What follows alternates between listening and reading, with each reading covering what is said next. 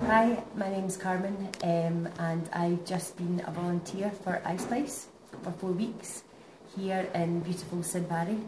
Um, I've had an amazing time being here. Um, there's many, many factors that I've enjoyed. Um, the house that we stay in is fantastic. The, the scenery is just beautiful. You have gorgeous mountains and hills all round.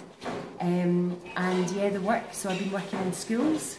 I've also worked in slums, and I've also done um, daycare work, and I've enjoyed everyone. Everyone has been very different. Um, but I'm learning every day, learning new skills, learning new skills in teaching, learning new computer skills. Um, for me, the highlight of the trip um, has been working in the, the day centres, um, working with the younger kids. Uh, so that would include doing some drawing with them. We would also read stories, uh, sing songs together, and generally just playing. And yes, they are very, very sweet. Um, all the children have been really sweet and very trusting um, of us.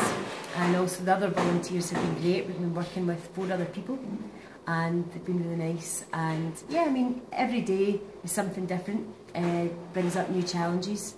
Um, but yeah, the work at the end of the day has been amazing. So if you want to come to India and you want to do some volunteering, I would highly recommend iSpiice because I've had a great time. Oh, and the food is fantastic.